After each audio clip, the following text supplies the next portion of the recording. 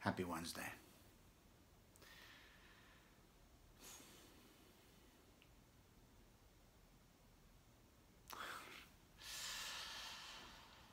I don't know.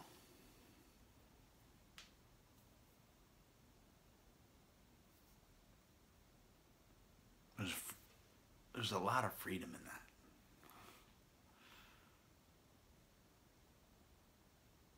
There's a lot of freedom in those words, at least for me. Because for the longest time, I always thought I knew, and then I was disappointed. So it's not only it's not only there's not only freedom, but there's like there's a bit of I guess healing and and just a weight lifted off of me to feel like I need to know anything. I don't know much about me at times.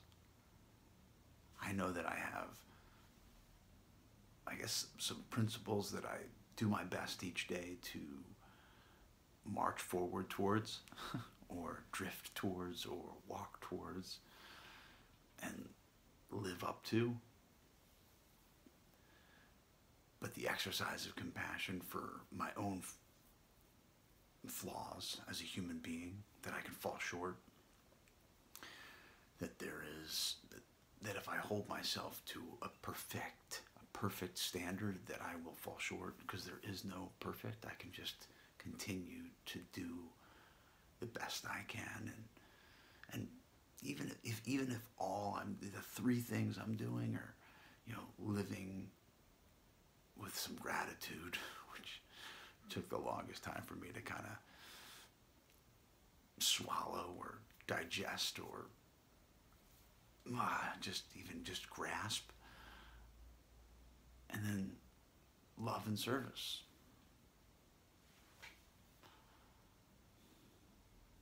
The formula doesn't really change.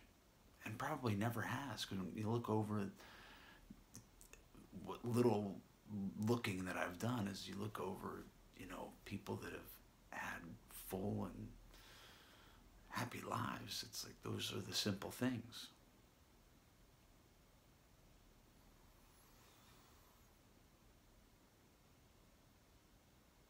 like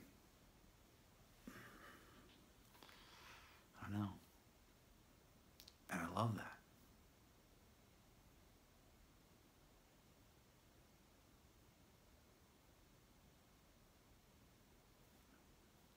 It's just simple.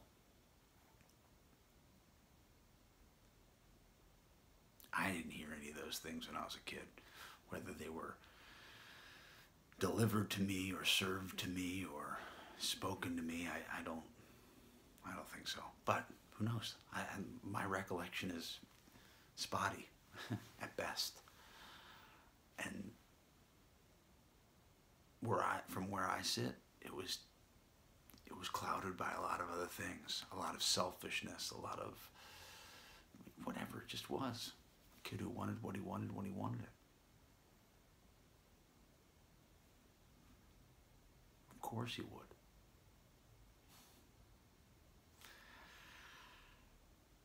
Happy Wednesday. Big light. Much love. Peace.